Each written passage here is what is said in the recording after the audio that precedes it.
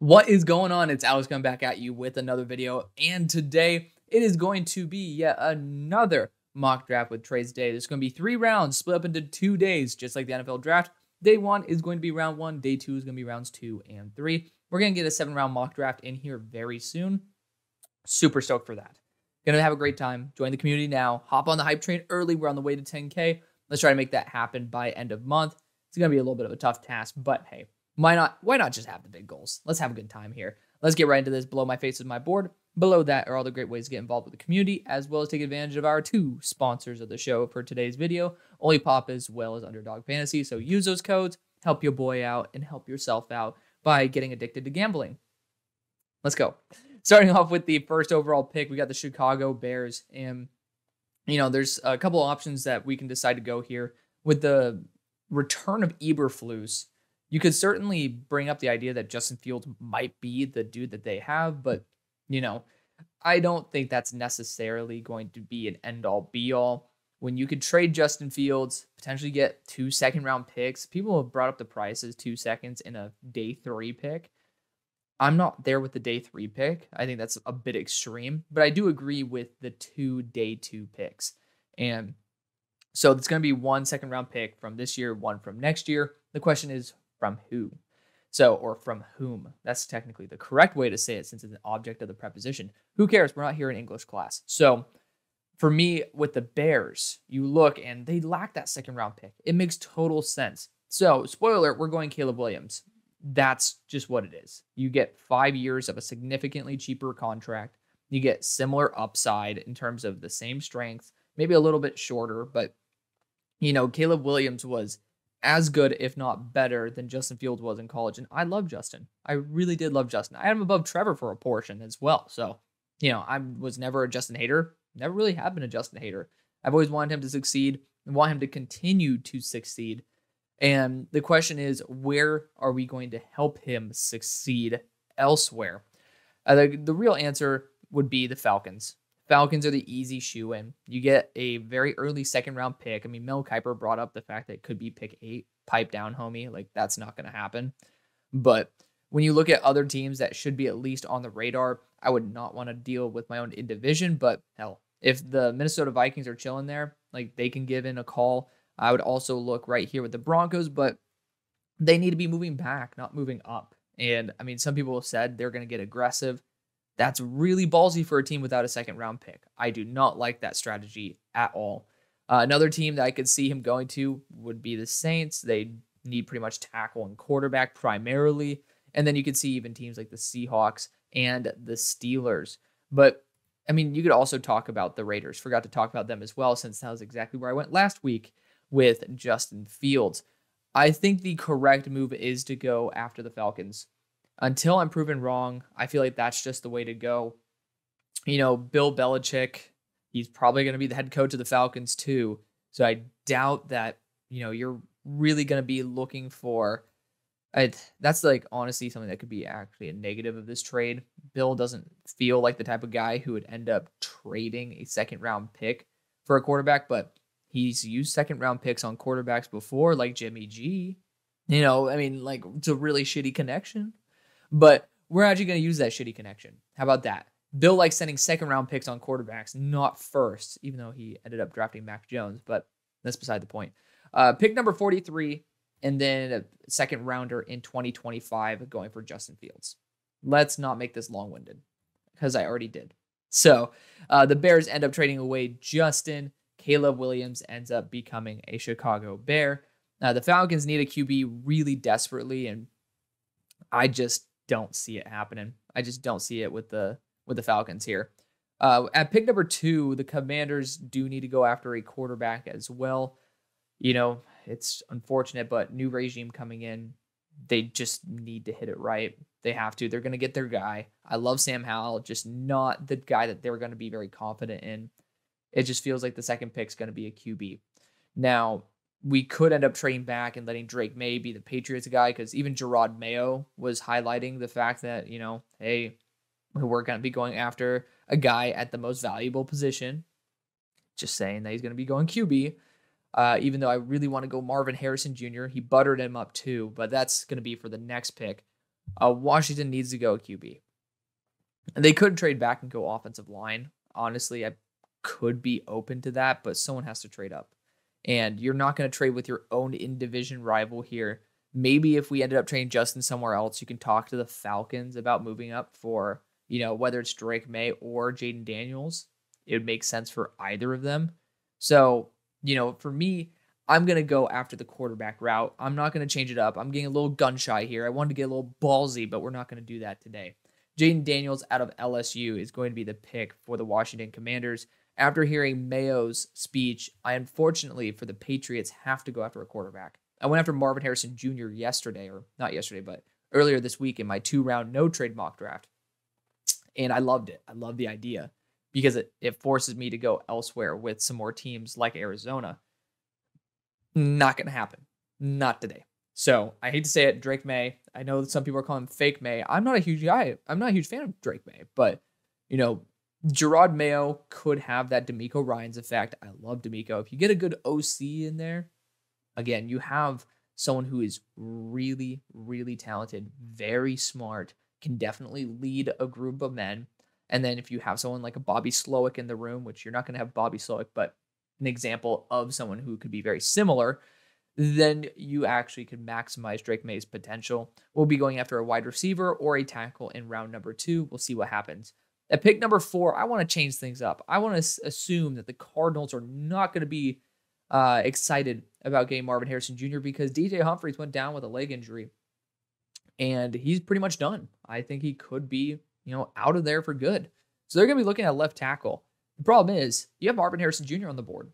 Why do we like? Why not just move back with a team that wants Marvin Harrison Jr. and still get an elite tackle? And I've heard a lot of requests from a lot of fans about getting Marvin Harrison with a particular team. That team's the Los Angeles Chargers. So we're moving down one spot. And yeah, you Cardinals fans, you're gonna be like, oh shit, you know, I really, really, really wanted Marvin Harrison Jr. But you know what? That price is really high. It is about 400 points, and this is about 400 points. So you're going to be getting an extra pick. I know the Chargers have bigger issues, but sometimes you just have to get the best return on investment. And that's not always quantity, that might just be quality. And you're going to be getting the best player in the draft. So you're going to be essentially sending Arizona a second round pick to say, thank you for letting us choose our guy rather than somebody else. Debated actually doing it for New York, but AFC to NFC is much better than NFC to NFC uh, in my opinion. I would rather not face, I would rather be in the playoffs and have to face Marvin Harrison Jr. in the Super Bowl rather than, you know, in any of the other previous rounds. So the Chargers have moved up and select Marvin Harrison Jr. Pretty sick. Pretty sick if you ask me. I've wanted to do that for a hot second. Uh, seems very unlikely, but you know, the Arizona Cardinals giving up on Marvin Harrison Jr. does seem like a little bit of a kick in the balls. You do need to have you know, a little bit more than just a wide receiver. However, especially at that left tackle spot, I would have went Marvin Harrison Jr. if the Texans did not have the 27th pick. That's the unfortunate fact is that you guys got screwed by the Texans actually being talented enough to make the playoffs and make a good run. That's what sucks. Because otherwise, you're out of range for a tackle, and you need one desperately. You have Kyler, who is injury prone, who is small, and you know needs his protection. So we're gonna get that protection. Uh, looking at the options available, too many teams that might be in a mood for a tackle for me to feel very comfortable. I could technically make a double move down with a team like the Falcons, but Falcons lost their second round pick. Doesn't make very much sense. Let's just get the best tackle and forget about it. Again, you got two teams here that are looking for left tackles. I don't feel very comfortable as the Arizona Cardinals continuing to move down. Uh, you, I mean, again, you got Malik Neighbors here, but none of these teams are desperate enough to move up for Malik. I don't think the Bears are either. So we are going to be opting for a left tackle here. You can go either route with Joe Alt or Olu Fashanu. Depends on what you're in the mood for. I love the mobility of Olu Fashanu, so that's going to be the route that I go. He is also my number one tackle in the class, so it makes sense. We acquire an extra second round pick, which we can use on the defense, and we are able to bolster the offense here with Olu Fashanu. At pick number six for the New York Giants, uh, it's Malik Neighbors, Brock Bowers. Some people even want to highlight right tackle. Not going to be doing that. It's Malik Neighbors all day, every day. Uh, super weapon, you know, he is extremely fast, extremely fast, pops off on tape, improved as a route runner. I'm not there yet with him. Some people think he might be the best player of the draft. You know, for me, at 16 overall, that's still really damn good on the verge of being a blue chip player. I don't like the comp of Garrett Wilson before the catch, and you know, I think it's DJ Moore after. Not there yet. Not there yet. But there's still more tape to be watched. So TBD. Pick number seven for the Titans. We all know where I'm going with this. It is Joe Alt. I mean, you need a left tackle. Joe Alt's one of the best guys you can ever find. This draft has, you know, pretty much again two flavors of ice cream, to, so to speak. You have the super high ceiling, lower floor guy in Olu, and then you have the really high floor, still pretty damn high ceiling guy in Joe Alt here. Uh, those are two bona fide franchise left tackles. Going to be very happy with either. At pick number eight with the Falcons, you got Brock Bowers, Rome Odunze here. This is a squad where I feel comfortable trading back.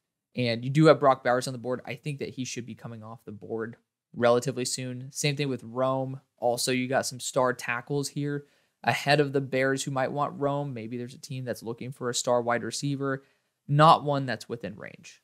Uh, not one, one that's within range. Uh, it's very tough to try to find a team that actually draft, you know, unless they need a tackle, which the Saints, I I do know they have some connections, but you know, the front offices are connected.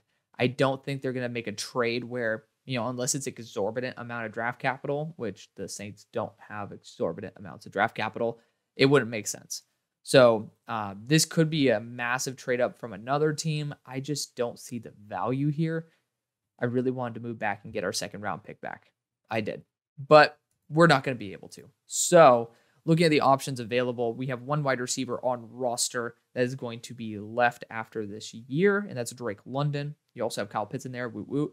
But I think Rome Odunze, like, there's a big drop off in terms of the perceived value of the rest of the receiving core. And in the third round, man, I'd prefer to take a swing on an edge rusher or go free agency with an edge rusher rather than have to go and fill out wide receivers with, you know, one third round pick and then multiple free agents. It just doesn't make very much sense to me. Let's target Rome Odunze. It worked last time we were at pick eight. It's going to work again. Rome Odunze out of Washington, 6'3, 211. Just an absolute baller of a dude. Great in one and 50 50 catches as well. Big fan of that. You know, big need, good value. It's worth it. So essentially, I just gave the Bears the middle finger. Sorry about that, by the way. But, you know, when you look at the Bears options, you got Brock Bowers here. That's really tough to say no. I think it's the proper time to look at edge rusher. You know, we already got a star quarterback. We could have gotten a wide receiver, but, you know, we we kind of missed out on that one. But we still have some really good options down the board. So I'm happy being able to move down here. Again, Brock Bowers is on the board. I mean, it's tough to say no to Brock. But I am looking at a team like Tali, where like Taliese Fuaga is available, where you have Amarius Mims available, who randomly decided to come out, which means he's getting some really positive reviews. Tackles don't come out early unless they get really positive reviews. So I'm definitely going to be in the market for that. I think this could be a crazy opportunity for the Bears to move back with a team that gets a little bit aggressive.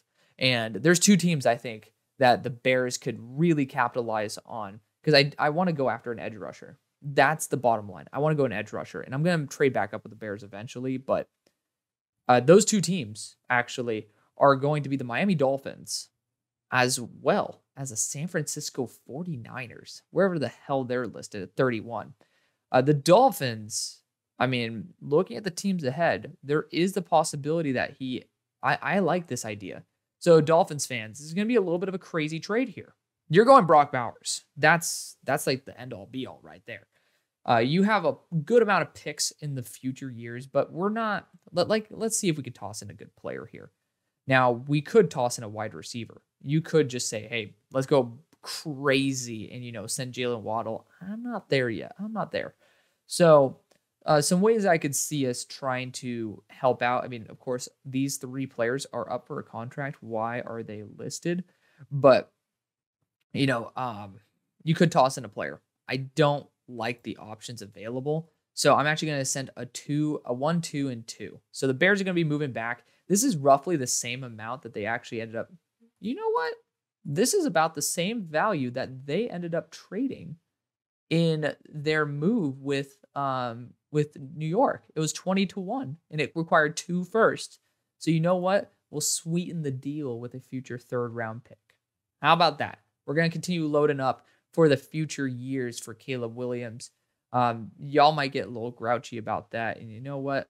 I love you anyways. It's some tough love. We'll maybe send back a future fit. Doesn't affect the mock draft, but the Bears end up getting multiple ones. The Dolphins get exactly what they've been begging me for in Brock Bowers. Pick number 10 for the New York Jets. So they need wide receiver, they need tackle. Wide receiver off the board, tackle on the board. You get Amarius Mims, Taliese Fuaga, JC Latham. JC ended off on a relatively poor note in terms of pass blocking, really good in terms of run blocker, but this is not a team that's going to be overly concerned with protecting Breece Hall compared to protecting Aaron Rodgers. So I'm going to go with the guy with the highest upside and day one impact as a pass blocker. That is Amarius Mims out of Georgia. 6'7, 340, great movement skills, still developing, but I think he is a little bit more pass efficient, pass blocking efficient than Taliese Fuaga is at the moment. Taliese has a lot more potential, but um, I mean, to be fair, you're talking about arguably two of the highest potential tackles that I've seen, especially in terms of right tackles. At pick number 11, the Minnesota Vikings are on the board, and a lot of really good choices here, a lot of really fun options. And, you know, I think this is a team where you're looking at quarterback, you're looking at edge rusher. And I'm about to screw over the Broncos right now because I think this is the prime opportunity to trade with the San Francisco 49ers. This team always looks to trade back as well, if I'm not mistaken. Uh, thinking about it, back in the day, they traded back actually relatively similar range with the Jameson Williams trade. I think it was back to 31 or something as well. So we're going to be trading all the way back. We're running it back because you need edge rusher or quarterback. One of those two is going to be available with proper value there. And the Niners, they don't need shit. I'm going to be honest. They need a right tackle, and that's about it. Like, that is about it. So this is going to require a good amount. Uh, I mean, yeah, the Vikings got fleeced the last time they did this, but you know, we're going to uh we're gonna be a little bit a little bit more generous than what y'all got last time. So maybe you could squeeze out like pick 148. This is not going to affect the mock draft. I'm never going to send a round two pick anyways in the future for the next rounds. Like that, that's kind of crazy. But uh, the Niners moving from 31 to 11, like maybe it's a one, two, one, three, then two. Feel free to do your own negotiating.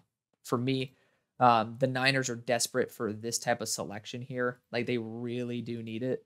And so the Niners are moving up. They have one hole on their team that is a huge issue, and that's right tackle. So Taliese Fuaga is ideal for them. Someone who does have that pass blocking upside, but is going to be an immediate impact in the run game and it has the mobility that you're looking for. Minnesota ends up gaining a ton of draft capital. The value for a quarterback's not proper. This is the way to go. This is the way. Pick number 12 for the Denver Broncos. So we did kind of just fleece a lot of the proper trade back options. I don't think JC Latham is as good as the top two guys, even though, yeah, no, I have Amarius slightly above JC. Still a big fan of JC Latham, but I don't think we're going to see multiple massive trades at the rate that I'm uh, projecting them at this point. I think the best opportunity is to just go after a supreme edge rusher here in Jared Verse.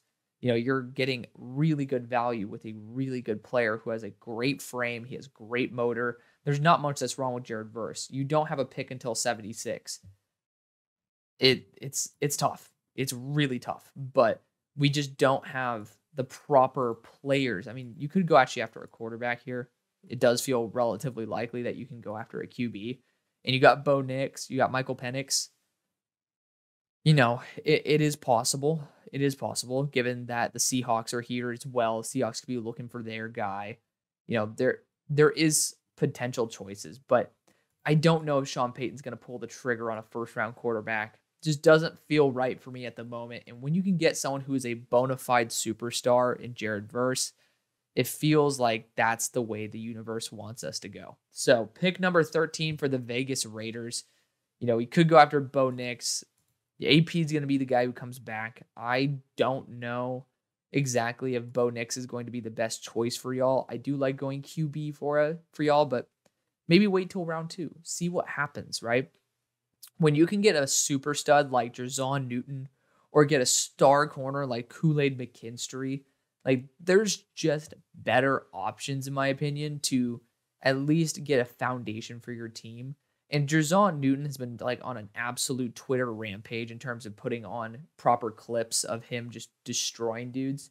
I'm going to give him some respect here. Uh, you passed on Jalen Carter last year, and you're going to not do the same thing this year. You're going to get the best defensive interior. You're getting Jer'Zhan Newton, and you're continuing to develop that defensive line to win the battle of the trenches. At pick 14 for the New Orleans Saints, this is a quick one. We're running up with J.C. Latham. This team's desperate for a left tackle of the future, potentially a right tackle as well. And J.C. is by far the best tackle that is remaining. It's relatively logical. Makes sense. So J.C. Latham's going to train to be that left tackle to replace Trevor Penning, and then in case of injury, can be a great fit at right tackle. So see what happens there.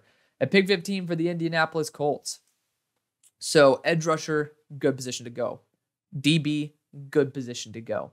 Not really a poor position to go. You can even go wide receiver here, right? I mean, you have Keon Coleman that's available. Like there's some good choices for you, but round two is ripe for these great value receivers where I feel like it's a little early for us to take one right now. When we can get a Dallas Turner, which I think is a little bit early for Dallas Turner for this system specifically, because I'd prefer for a pure edge one to have a bit more meat on his bones, have a better size to him. Uh, I think it's a little bit early for a 242. Dallas Turner is my number four player in the class but that doesn't change the fact that he's 242 pounds. I don't feel like that's the move that the Colts would go after. Now, defensive back, certainly still on the board. Definitely still on the board. But you got Laiatu Latu on the board, and you also have Bralen Trice on the board. Latu, he's actually ascended up my board really fast. He's number 31 on my board. And it's just because he's not the best athlete on planet Earth, and there's a lot of really, really special athletes like he's improved tremendously over the past year. So shout out to Laiatu Latu for you know me being not a full supporter, now being a supporter of him. I think he might be the right move. I have Bralen Trice graded above him, but Bralen or but Laiatu Latu still is a phenomenal player. Great edge bend, very strong in the upper torso. I just think he needs to be a little bit stronger in the lower. This team had seven guys with seven or four guys with seven sacks or more, and there's just not one clear cut edge rusher. I think he has like a sub 10% pass rush win rate as well, that's a little bit scary. It's a little bit scary. I don't think that that figure might be a little bit off. It might have been like a sub 70 PFF pass grade, but I saw something on my boys bring the juice and you know, Latu certainly could be the guy that you know, you're getting some extra help both on the interior and exterior at that size and you do kind of look for that I mean, especially with the fifth year option coming up for Kwity Paye, you're going to be looking for another potential edge one because I don't know if he's really worth that 15 million, it might be 12 million that is fully guaranteed on top of what it is next year. So Laiatu Latu is going to be the selection. It's a very top heavy edge draft too, since we ended up losing a really good portion of the depth edge rushers. At pick number 16 for the Seattle Seahawks, this actually might be a quarterback. They're looking for a new coach, and I think that Geno was a kind of more of a Pete Carroll type of guy. Uh, we're going to go Bo Nix out of Oregon here. Could stick with the guy in Washington, Penix, but, you know, less mobility, uh, older, worse resume in terms of injury history as well. And, you know, power to him. He ended off a little bit on a sour note, but that Sugar Bowl game was excellent. Bo Nix is eight points away from beating Michael Penix twice. So Michael Penix did beat Bo Nix twice. That is in, in favor of that, but he is a great player. I'm actually going to choose Bo Nix for uh, the Falcons here, not for the Falcons, for the Seahawks here. At pick 17 for the Jacksonville Jaguars, I run up to the podium every time I see this guy available. It's Kool Aid McKinstry. You know, they need a true corner too, and Kool Aid McKinstry is going to be that guy. You're going to be coming up on a fifth year contract or a fifth year option for Tyson Campbell as well. So, clock's ticking on that deal you know, just a lot of dudes are going to be asking for money, especially in that secondary. You need to get someone who is locked down. That's Kool Aid McKinstry. Pick 18 for the Cincinnati Bengals. Tackle has been eviscerated from the board. You know, you got Jordan Morgan here, and then, you know, Kingsley Suamataia. That's uh it's a little bit tough to sell at this point of the draft. There are some really good edge rushers still available, especially with the Rams going to be lurking for one of these edge rushers. I am going to make a move up with the Chicago Bears. So, Bears have a ton of draft capital. Bengals, the opportunities, like the options available, are just not good enough anyway. So, for a 21 to 18 move, I think it will take a third. So, I'm going to give a future third and a this year fourth in order to move up. It's not going to affect this mock draft, so feel free to do your own negotiating.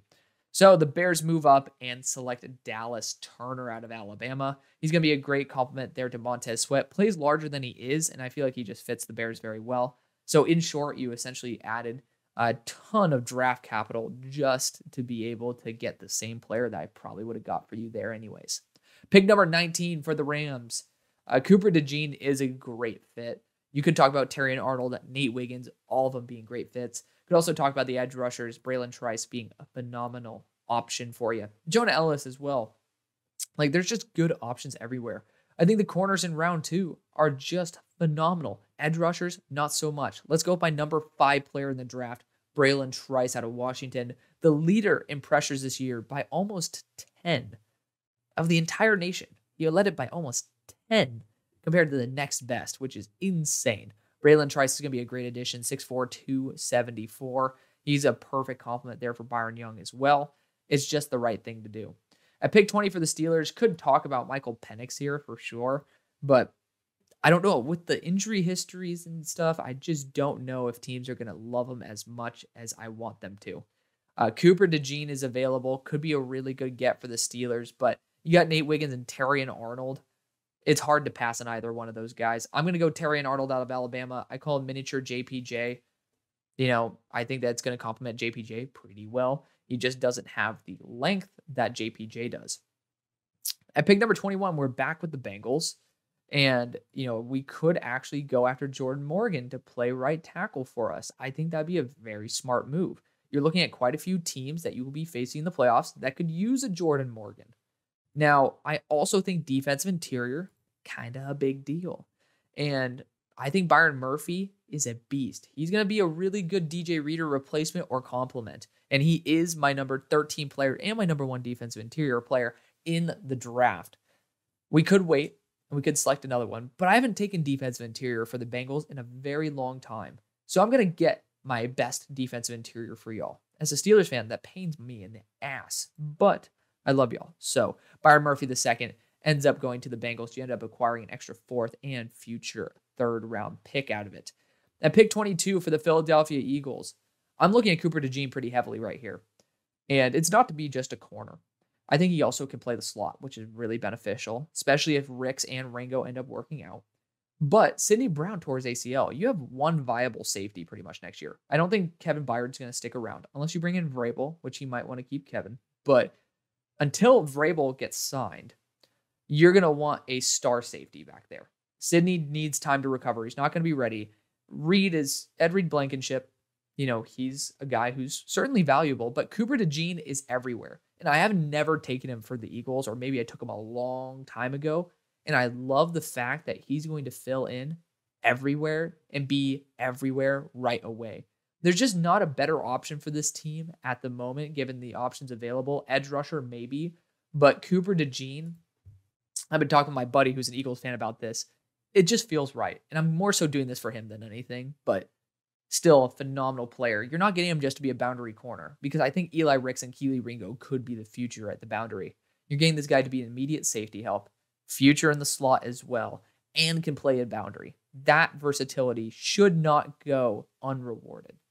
At pick number 23 for the Houston Texans.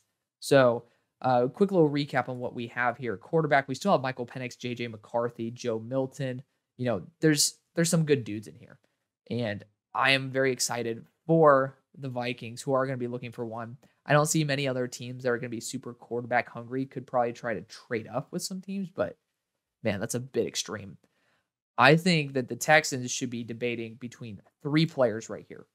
That's Nate Wiggins. That's T'Vondre Sweat. And that's also going to be Keon Coleman.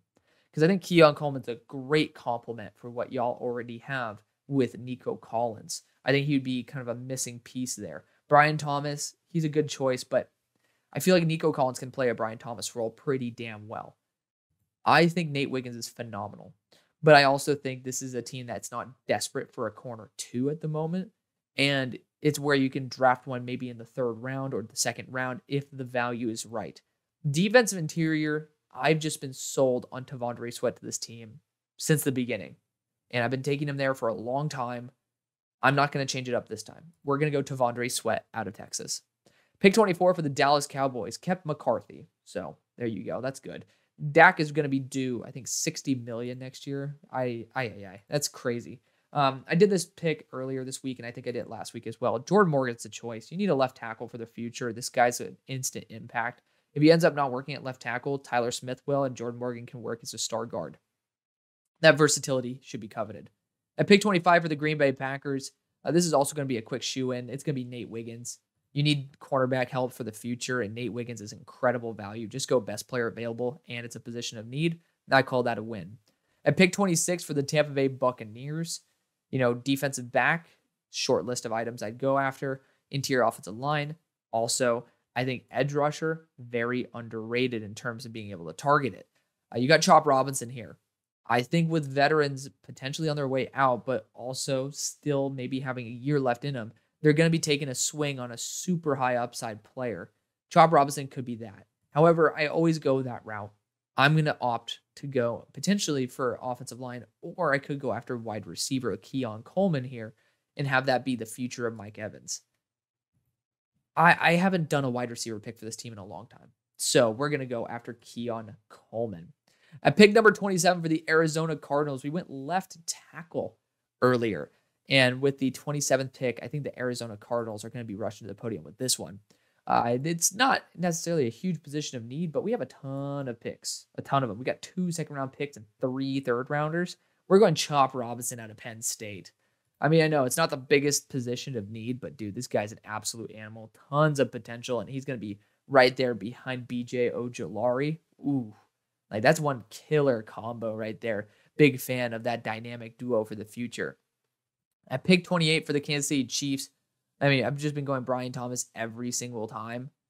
I don't think anything's going to change here. Brian Thomas is available. Brian Thomas is the pick. So Brian Thomas, 6'4", 205, great deep threat, exactly the style of receiver I think the uh, Kansas City Chiefs will be looking for. At pick 29 for the Buffalo Bills, I do like going after, uh, where's he at? What the hell? Did I? Oh, I did take Keon Coleman before. I was like about to say I always go Keon Coleman, but here I want to change things up. Well, I don't have a choice. I'm gonna opt for a safety. I'm trying to push these guys up a little bit higher and higher, and I love Tyler Nubin to this team. I really do. Super versatile, super consistent, used to the cold weather. He's a good fit right away. Both of your safeties have been there for seven years already and are coming up on contracts. Therefore, time to get another guy who's going to be the face of the franchise in there. Pick number 30, or face of the defense, so to speak. Pick number 30 for the Detroit Lions.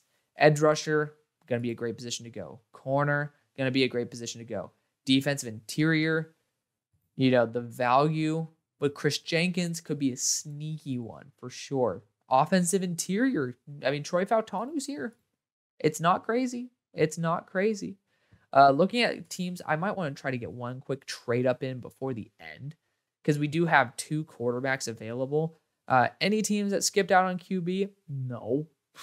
That's kind of crazy. We don't have any teams that are really quarterback hungry at the moment, except for the Raiders, which, you know, if there's only one team besides the, you know, the Vikings, they're not going to be trading up. So, uh, unfortunately, I'm not seeing anybody too crazy slip out of the first. So, RIP to that idea. So, the Detroit Lions, you're going to be happy. Regardless, your dad, or your dad, your dad, uh, Jonah Elliss's dad played for your team. Uh, I think his name was Luther Elliss. So shout out to my subs who actually pointed that out, which is great. I'm going to be opting back for Jonah Elliss in this pick. You need an edge rusher to complement Aidan Hutchinson. He has great size. He is a top 30 player on my board. He is phenomenal. One of the best pure pass rushers I know. Not a great run defender, but I think that there's a little bit more wiggle room and understanding for someone who is sub 250. At pick 31, Minnesota Vikings. This is Michael Penix. I didn't force it. I mean, I, I don't really like going Michael Penix much earlier because of the history um, of injuries and the age, but Michael Penix is going to be able to fully unload his superstar cannon with this massive array of weapons. And a pick 32 for the Baltimore Ravens. Uh, you got wide receivers galore. And you know what? Someone requested this last time, and I want to give you your request. It hurts me to do this because I wanted to send him to Arizona, but Xavier Legette out of South Carolina, 6'3, 227, going to replace Odell Beckham Jr. in the squad. Honestly, an underrated route runner, great after the catch. This dude's an absolute freak show. So that's going to be the video. Stay tuned tomorrow for rounds two and three on day two. See you on the far side. Peace.